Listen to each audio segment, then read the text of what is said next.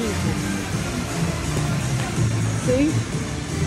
It tells you all the stores that's coming soon.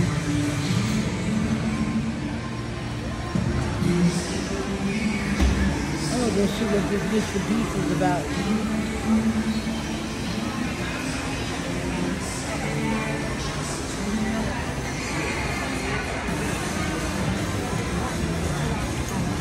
Guess I have to go over there. Oh, that's a long line there.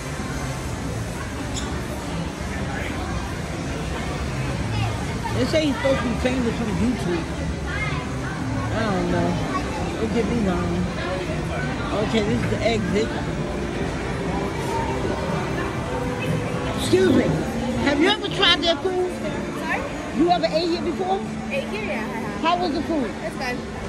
The beef style is good. Okay, thank you.